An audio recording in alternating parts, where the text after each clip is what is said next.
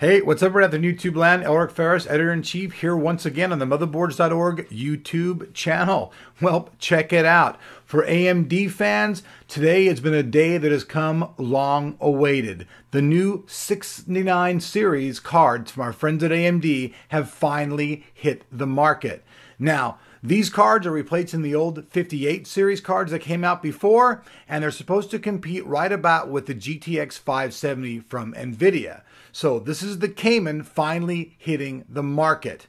So check this out. We've got the new card from XFX. This is the XFX HD Radeon 6970 card. So follow along as we show you all the great new features of this card, how fast is it against the competition, what it costs, and whether it's worth your money as the end user at the end of the day. Let's check this out.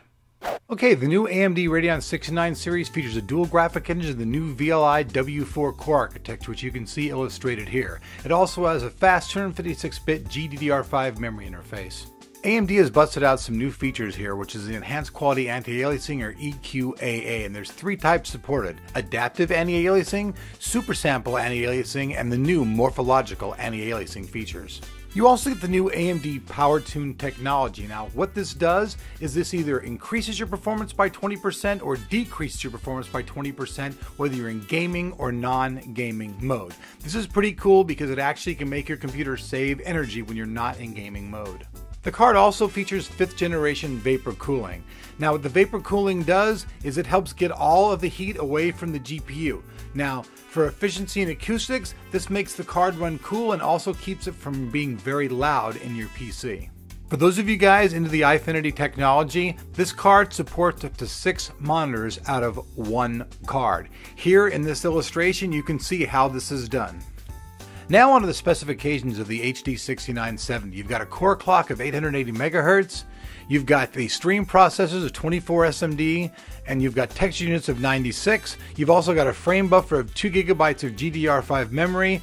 The memory width and speed, as we talked about before, is a 256-bit memory interface. The PowerTune maximum limit is 250 watts. The typical gaming power watt as a draw is 190 watts, and idle is 20 watts. You need also an 8-pin and a 6-pin power connector, and the display outputs are 2 DVI, 2 mini display ports, and 1 HDMI.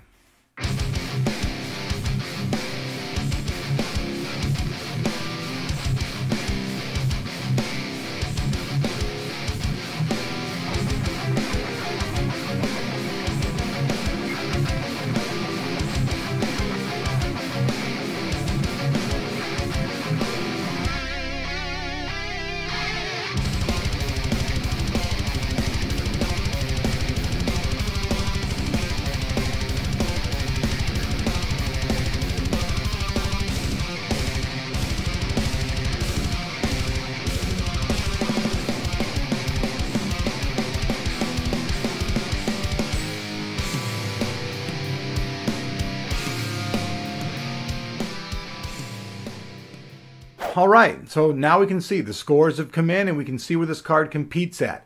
This card is just slightly faster than the GTX 570.